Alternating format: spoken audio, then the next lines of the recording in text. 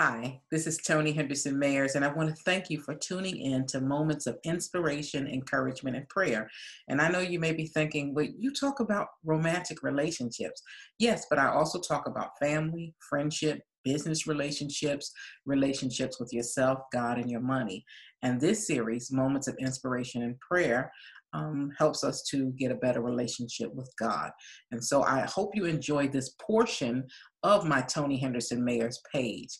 And without further ado, here is moments of inspiration, encouragement, and prayer.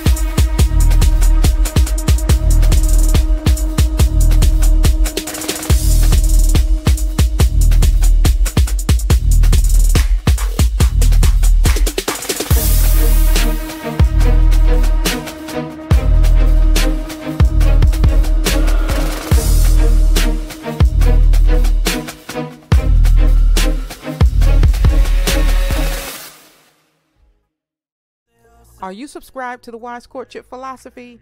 Then you need to get your Wise Courtship gear at the Wise Courtship store. Go to bit.ly forward slash Wise Courtship store. All the letters are lowercase. They make amazing gifts from children, adults, men and women, jewelry, hats, cell phone cases, t shirts, and more. Represent Wise Courtship by going to bit.ly forward slash Wise Courtship Store. Well, hello there, each and every one of you. This is Toni Henderson Mayers, television, radio, relationship expert, author, and entrepreneur known as Wise Courtship all over social media because of my book with the three step system that will help you determine the true character and the true intent of your love interest. I want to thank everyone for joining us on social media and all of the places. Good, good to see you. God loves Rio. That's Mario joining us from Periscope. Thank you so much, guys, for joining us via um, Facebook Live, Periscope, um, Twitch, YouTube, all of those wonderful places. Listen, guys, um, make sure, however you're watching me, especially YouTube, that you like, subscribe, and comment, and um, you know, do all of that. Ring the bell so you know every time I upload a new video. So, thank you guys so much for tuning in. This is a special presentation because we're celebrating Christmas, and the topic today is going to be why is Christmas um, important? And we're going to definitely look at the scriptures for that. Good to see you too, as well. Blessings to you. So good to see you.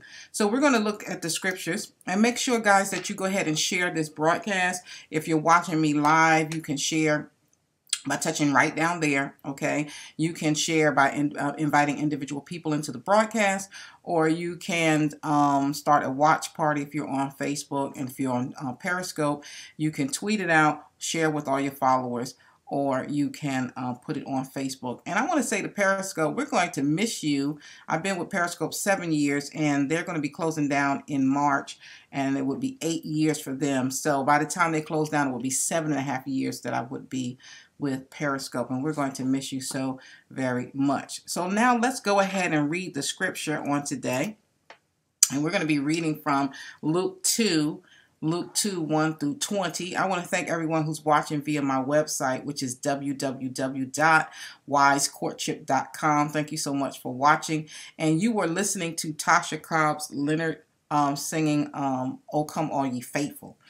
All right, so um, I'm reading from Luke 2 1 through 20 from the NIV version. In those days, Caesar Augusta issued a decree that a census should be taken of the entire Roman world. This was the first census that took place while Quirinius was governor of Syria, and everyone went to their own town to register. So Joseph also went up from the town of Nazareth in Galilee of Judea to Bethlehem, the town of David, because he belonged to the house and line of David. He went there to register with Mary, who was pledged to be married to him and was expecting a child. While they were uh, while they were there, the time came for the baby to be born. And she gave birth to her firstborn, a son. She wrapped him in cloths and placed him in a manger, because there was no guest room available for them. And there were shepherds living out in the fields nearby, keeping watch over their flocks at night. An angel of the Lord appeared to them, and the glory of the Lord shone around them, and they were terrified. But the angel said to them, Do not be afraid. I bring you good news that will cause great joy for all the people. Today in the town of David, a Savior has been born to you. He is the Messiah, the Lord. This will be a sign to you. You will find a baby wrapped in cloths and lying in a manger. Suddenly, a great company of the heavenly hosts appeared with the angel, praising God and saying, Glory to God in the highest heaven, and on earth peace to those on whom his favor rests.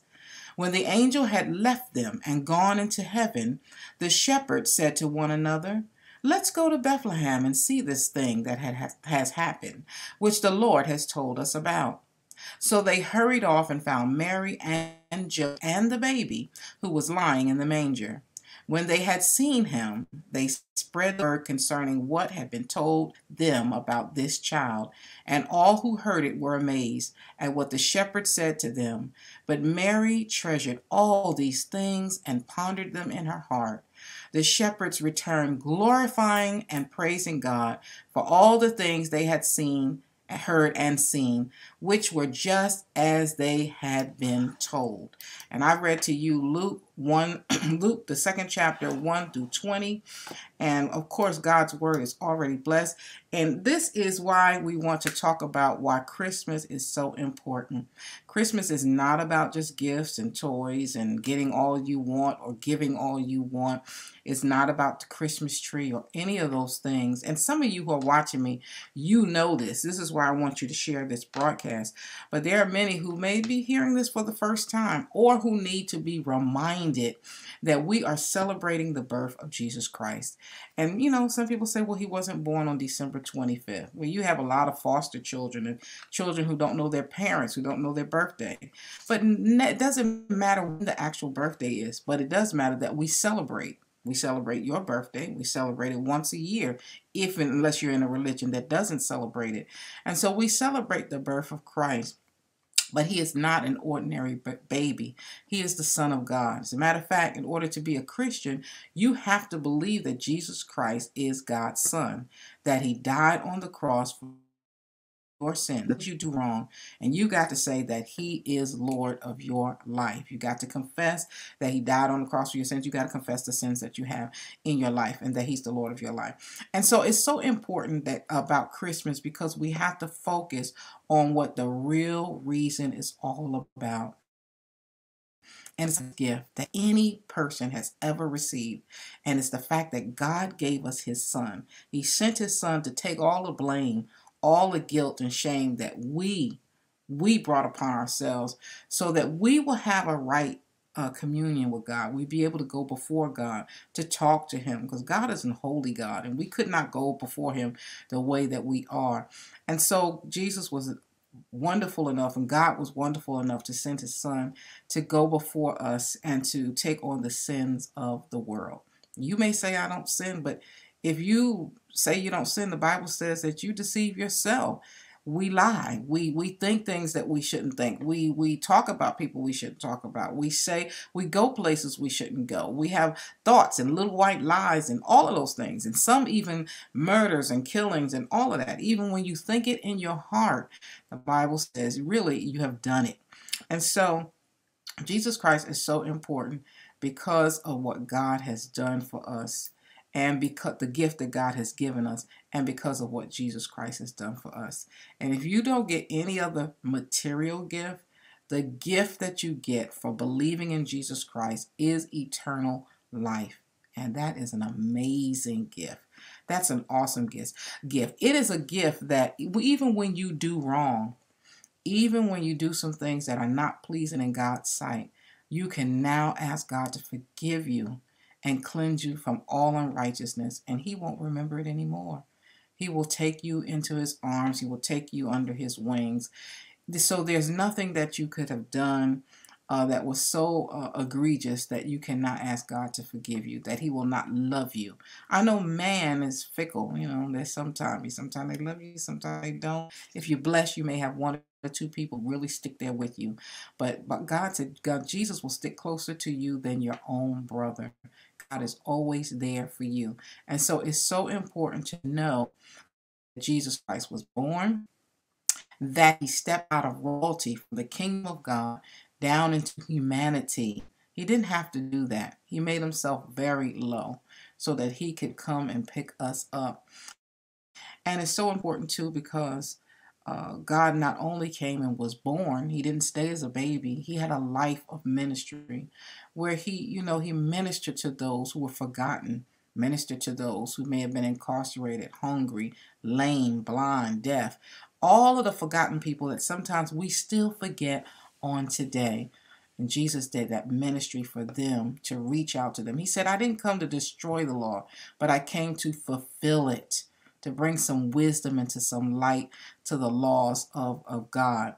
And so, those of us who believe in Jesus Christ, we should emulate him, all of the love and all of the uh, unity that he brought in this earth.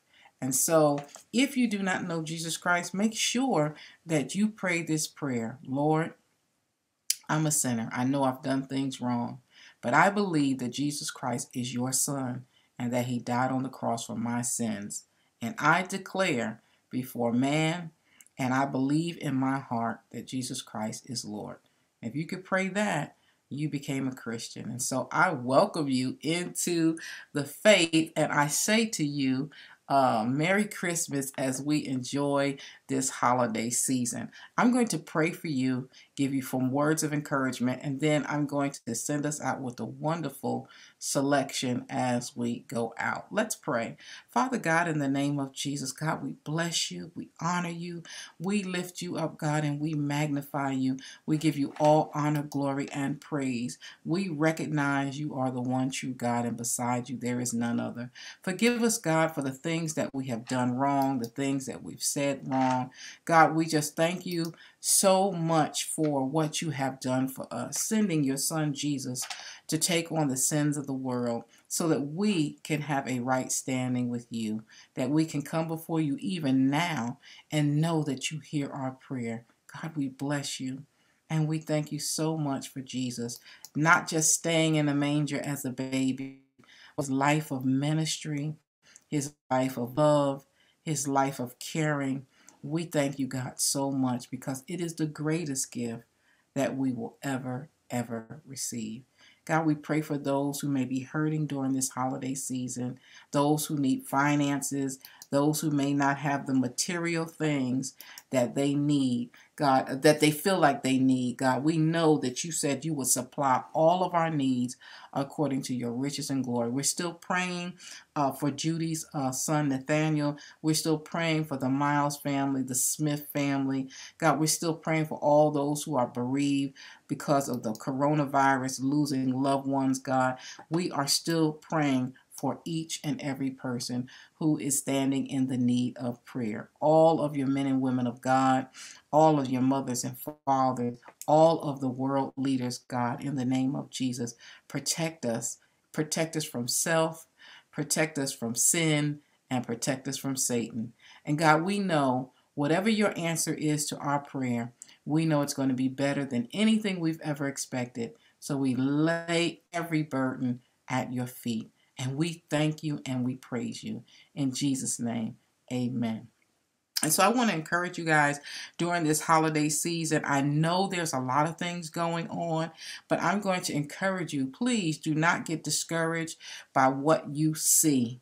Because listen, faith cometh um, by, but I didn't want to say faith cometh by hearing, but hearing because of the word God. But what I want to say is that faith is not always what you can see. Okay, faith is uh, uh, what you cannot see.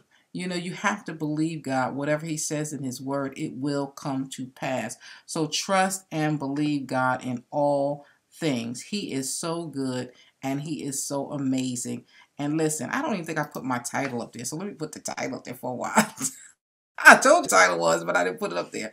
Why is Christmas important? And so if you get caught up in the world's definition of what um, Christmas is and what happiness is and what you should be receiving, you may be very, very depressed. But if you start putting your trust, trust and faith in God and remember the real reason for the season, you will find so much joy in it. And listen, let's make somebody else's Christmas a joyous one. Let's make somebody else's Christmas happy. Let's see what we can do to make someone else smile during this holiday season. I want to um, encourage you guys, and you'll see another commercial at the end of the broadcast, that if you want to wear your Wise Courtship gear, go to bit.ly forward slash Wise Courtship Store. All of the letters are lowercase. That's bit.ly forward slash Wise Wise Court Store.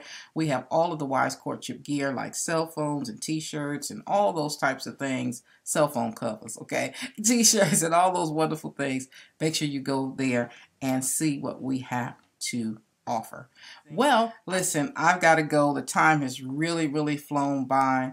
But I pray that you have been blessed by this broadcast, and I pray that you will enjoy the time that you have with your family or your loved ones. And if by chance you are alone during this pandemic and you're sheltered in place, make sure you give a call or shout out to friends and loved ones. Um, have a video call, a Zoom session, what have you, because you are not alone in this world. Go ahead and connect with other people, and let's make sure we check in on one another and make sure that everyone is having a wonderful holiday season. Well, I got to go. the time goes by so quickly. But listen, I can be reached on the web which is www.wisecourtship.com. I'm on social media just about everywhere as Wise Courtship or Toni Henderson Mayers. All you have to do is Google me. And in this day and age of alternative facts, things spinning way out of control, God is still on his throne. He's still um, still in control. And until Jesus we have to learn, watch, fight, and pray. And I pray that all of you have a very Merry Christmas. Take care. Well, hello there, each and every one of you. Thank you so much for tuning in. Make sure you like this video, subscribe to this channel, and ring that bell. Click it for me so that you will know anytime I upload a new video.